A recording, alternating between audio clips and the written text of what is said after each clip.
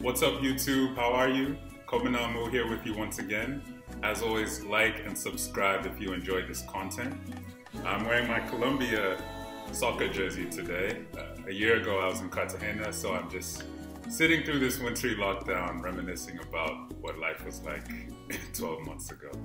Today, I'll be demonstrating how to create an automated trading robot with the TTM squeeze indicator in Thinkorswim.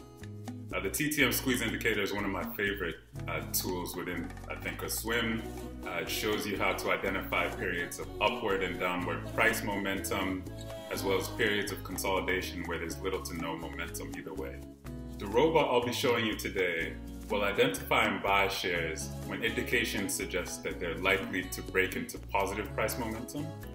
Hold on to those shares as they ride that positive price momentum, and then sell once that momentum begins to slow.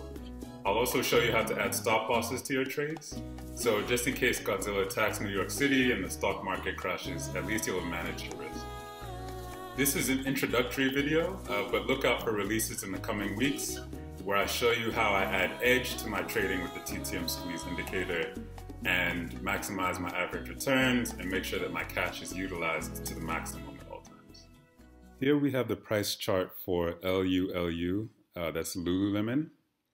And I'll start by adding the TTM squeeze indicator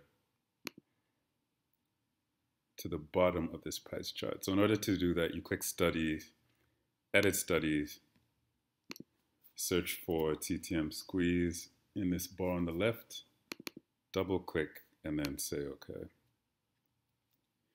So the TTM squeeze looks at the relationship between Bollinger Bands and Keltner channels. Uh, and I've, I've included a link in the description of this video if you're interested in more detail uh, on that relationship. But I wanted to use this, this video to speak to the important elements of uh, what the TTM squeeze indicates. So the green part denotes when the stock is in a squeeze.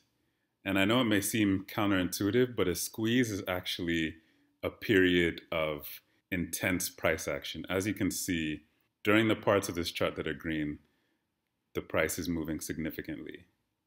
During the parts that are red, the price is flatter. Essentially, the TTM squeeze indicator details the momentum and volatility of a stock. So when momentum is negative and becoming increasingly negative, we see that in this in these red bars down here. And as you can see by the price chart uh, for Lululemon during this period, uh, its price is declining heavily. This was actually during the onset of the COVID pandemic in March. So you can see this heavy price decline.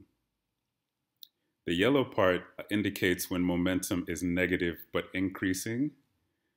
So as you can see here, momentum is beginning to pick up. And the light blue parts indicate that momentum is increasing. And you can see that here.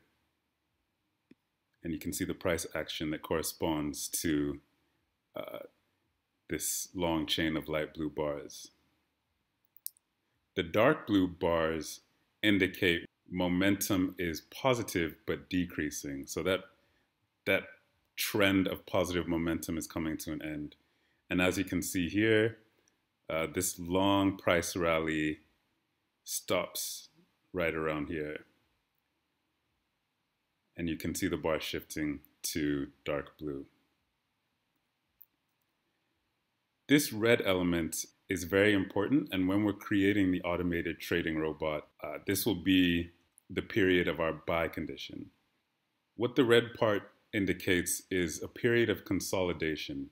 So as you can see, the price has swung up rapidly for a few months here, and then momentum slows and then it flattens before uh, accelerating again. So during this red part, after the price acceleration, buyers and sellers in the market have reached an equilibrium at the stock. In essence, they say, whoa, whew, that price movement was intense. Are we overvalued now? Are we undervalued? Are we right on point? I don't even know at this point.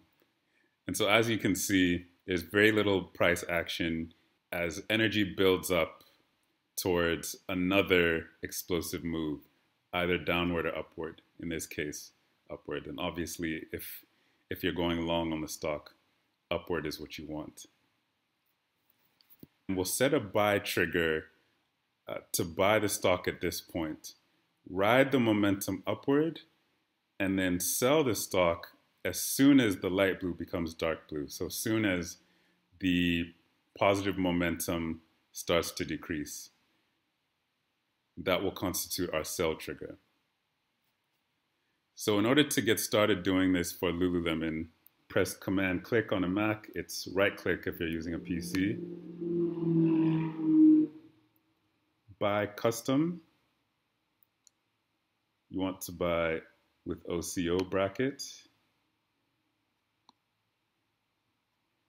So what we're going to do is set this condition so that it would only buy one stock of Lululemon uh, when the buy conditions are met, and then sell 100% of Lululemon or sell that one stock. Again, the number of stocks is up to you, but I'm, I'm just doing one stock. Sell 100% when the selling conditions are met. So we have to change this indicator here. Currently it's in units. We want to change this to percent. So in order to do that, just click. And also when the stop loss is met, and the stop loss is very important, click here. So then when either the selling condition or the stop loss is met, 100% of your Lululemon shares will be sold. And of course, uh, there's the flexibility for you to play with this. Uh, you can sell 50%, 20% uh, at either condition. It's up to you. So we want our orders to be market orders. We want the robot to fill the order quickly, uh, but at the best possible price. And that would be the same for the sell order. So both would be market orders. And we want all of our triggers to be good till close instead of day, meaning that the wait condition will be in effect as long as it takes for the relevant conditions to be met. If it were just day, the wait conditions would be in effect till the end of the day, uh, and then they'd effectively uh, delete themselves. So good till close for the buy condition, good till close for the sell condition, good till, good till, I would say good till close, good till canceled for the stop loss. Now we want to set the conditions to buy. And of course, these will be conditions related to the TTM squeeze indicators and what they tell us. And this is the fun part. This is the interesting part. So the symbol, once you click symbol, will automatically bring up Lulu. For the method, we want to click study, edit, Okay. So once again, we click edit. And again, we want to buy the stock when it's in that red section. So in that section of consolidation. So in order to denote that, click here. We want to search for the TTM squeeze study. Look up study TTM squeeze and we want it to be false. Indicating that the study is false uh, just denotes that it's in a period of consolidation. Again, when the squeeze is true, that's indicated by the green and, and high momentum. So we want it to be false and then hit save. And then we want to add another condition again, hit study, TTM squeeze. So this second condition will indicate that it started to pick up positive momentum. So it started to trend upward. And so we want TTM squeeze to be greater than click value zero.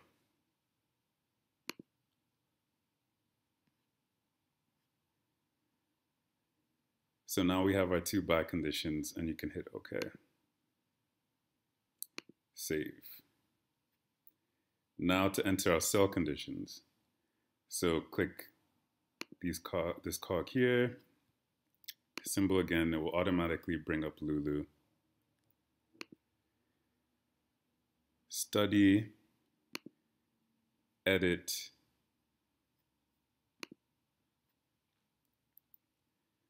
So once again, we want to edit the study. So our sell conditions, again, we want to ride the momentum until the momentum starts to slow down. So once those light blue bars start to turn to dark blue bars, uh, and we can we can set up our robot to sell immediately once it hits that dark blue bar point. First of all, we want to make sure that when the stock is sold, the price is in the squeeze. So in the period of high momentum, it's it's beyond that period of consolidation. So in order to do that, we want to say TTM squeeze is true. And then we save that. We want to add one more condition. And this condition will communicate to the robot that uh, the TTM squeeze value today is less than it was yesterday. Essentially, that the momentum has sh just shifted from the light blue bars to the dark blue bars. So hit study. Again, look up TTM squeeze. And we want TTM 1. So what this offset and the number indicated below represents is days ago.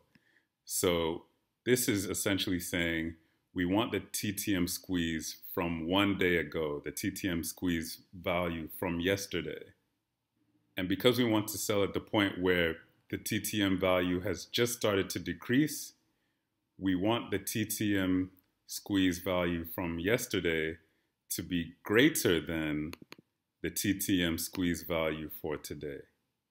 So select condition, of course, study, squeeze, and then this should be zero.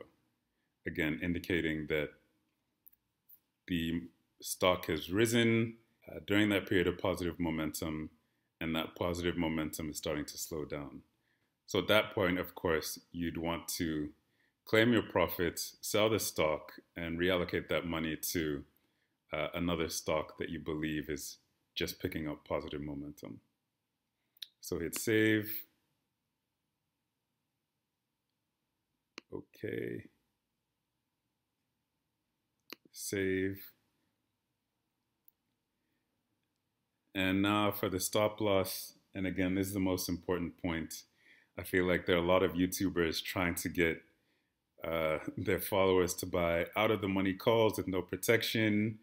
Um, it's just it's crazy, just the the brazenness that all of these YouTubers are trying to convince their followers to have with little to no risk management at all. And it's it's great, it's exciting, but when it goes bad, it'll go really bad for everyone. Uh, and any great investor or trader will tell you that, including disciplined risk management in every trade is the key to success in trading, to consistent success. So I usually set the stop loss at between 5 and 10%. Uh, so clicking stop and then stop again will allow you to change the percentage. So click this icon here and then percentage. And then again, I would do maybe 10%, meaning that if you purchase the stock and its price falls 10%, uh, it will automatically sell if it hasn't already hit that stop condition that we've set. Confirm and then send and your order is placed. And so when that criteria is hit, uh, whenever that may be for Lululemon, will purchase the stock and then proceed to sell the stock when either the stop loss or, of course, ideally, the selling condition is met. And so obviously, once this is done, you don't need to spend your time looking at price charts, tracking price movements. So obviously, once this is done, you don't need to spend your time tracking price charts, tracking price movements. The functionality within Thinkorswim will do all of that for you and buy and sell automatically once your predetermined conditions are set. As you can tell, trading this way may not be ideal at all times. It may take weeks, months for Lululemon to meet your buying criteria. Uh, but stay tuned for future videos in which I show you how you can use Thinkorswim's tools to identify all the stocks, the entire universe of stocks that meet your criteria right now so that you can buy immediately and ensure that your cash is fully utilized and working for you at all times. Thank you once again. I hope you enjoyed this content. I hope it will prove as useful to you as it proved to me and I hope to see you very soon. Take care.